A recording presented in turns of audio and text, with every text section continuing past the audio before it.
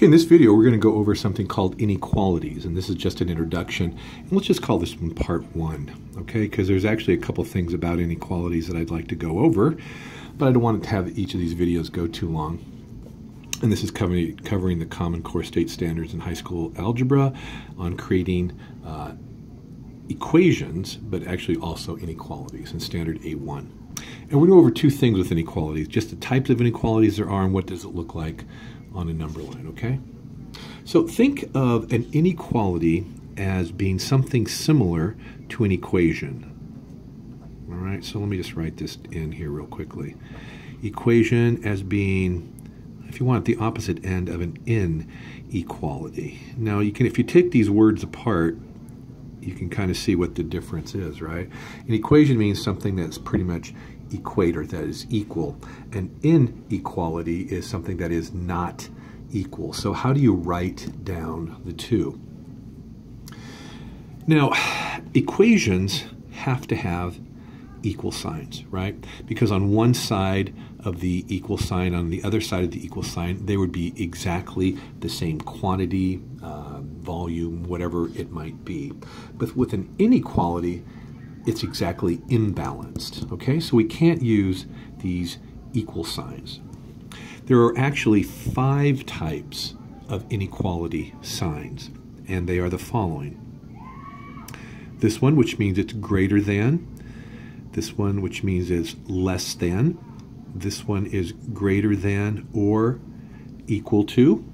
This one is less than or equal to, and then one that we don't use all that often, but it's just an equal sign crossed out, which means that these are these quantities are not equal to one another.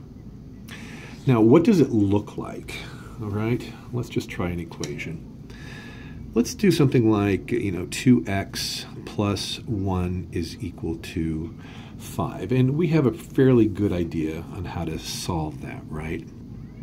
If we want to keep both sides balanced, whatever we do to one side of the equation, we have to do to the other. So in this particular problem, I'm going to subtract 1 from both sides. I'm going to end up with 2x is equal to 4. And then I'm going to divide both sides by 2. And I'm going to end up with x is equal to 2. And what I have done is this part of the problem step four, is exactly the same as that part of the problem. These are equivalent expressions. They both equal 2. They just look like they're in different forms. If I were to graph that answer on a number line, okay, it would basically be just this. 1, 2, there's the answer. And I would just put a dot right there. Now with an inequality, it's going to look a little different. Let me show you how it would look on a number line, okay? Let's say I have 2x plus 1 less than or equal to 5. Now, I'm not going to do anything different in terms of how I go about, quote, solving this problem, okay? I'm going to pretend, for example, that that inequality is not there. I'm just going to use it and, and just use an equal sign. So let me subtract 1 from both sides. I'm going to come up with 2x is less than or equal to 4. Next step, divide by 2, and I'm going to come up with x is less than or equal to 2. Now here's where the difference comes in. So I use exactly the same rules as my equation. The difference is in terms of how it's graphed. Now, again, here's my number line, 1, 2, and I'm just going to go negative down here, okay? Because it's equal to 2, I'm going to put the dot on there, and it's going to be filled in. But because it's less than, it means that I want all the x's that are also less than 2. So what I'm going to do is I'm going to color it in in that direction. And you can see the difference between the two answers, right? This is going to include any point that is going to be equal to 2 but also less than, and this one is going to be only equal to 2. Now, how would I just check this? I would just choose any number that is shaded. Let's just choose, like, uh, I don't know, 0, for example, and let's plug it into the original inequality. So I'd say 2 times 0 plus 1 should be less than or equal to 5. 2 times 0 we know is 0 plus 1.